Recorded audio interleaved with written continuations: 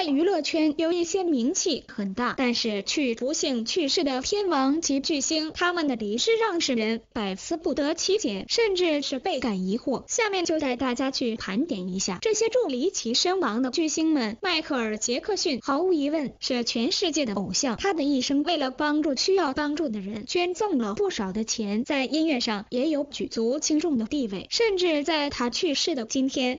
他依然是热度不减，但是他最终却死在了手术台。随着迈克尔的死亡，死因一步一步明朗，谜团却越来越大。死因是私人医生注射了致命剂量的异丙酚，造成迈克尔·杰克逊心脏病突发死亡。难道真的私人医生的失误吗？性感的玛丽莲梦露于一九六二年八月四日自杀，但是很多人猜测，并不是死于自杀，而是死于知道太多的白宫秘密了。据称。玛丽莲梦露此前的三个小时通话记录都被删除了，可谓是疑点重重。少时女星白小曼曾经是一代艳星，也是一名传奇女星，可是死亡原因至今是无人知晓。关于白小曼之死，流传最广的解释是她不堪黑社会逼压才愤然自杀。一九九五年五月八日，邓丽君在泰国清迈梅宾饭店十五楼的一间贵宾房。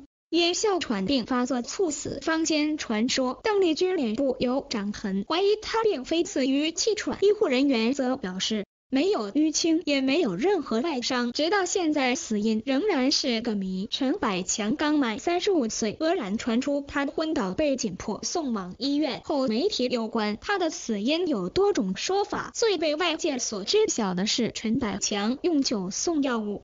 形成中毒致使昏倒，但至于实在死因仍是个谜。说到意外离世的巨星，怎样不能让人想到哥哥张国荣？在二零零三年愚人节当天，张国荣从中环文华东方酒店十六楼的窗口纵身一跃，完毕了自个四十六岁的生命。有关张国荣为何要跳楼，外界有多种传言，甚至有他杀一说。不过，据张国荣身边好友回答，张国荣是自个挑选跳楼，抑郁症让他很苦。才会挑选如此极点的方法完毕自个的生命。直到今日，很多歌迷依旧在思念哥哥张国荣永久活在歌迷心中。一九七三年七月二十一日的香港报纸头条新闻揭示，李小龙的猝亡口径几乎一样。当红功夫巨星年仅三十二岁的李小龙，昨日深夜十一时三十分在伊丽莎白医院暴毙。死亡游戏是李小龙生前没有拍完的最后一部电影。有传闻说李小龙是因劳累